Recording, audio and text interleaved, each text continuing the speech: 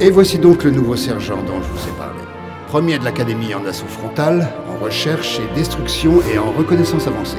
Ravi de vous compter parmi nous, sergent. Vous avez fait bien plus que votre simple devoir, Major. Je suis fier d'avoir mon rôle à jouer, Général.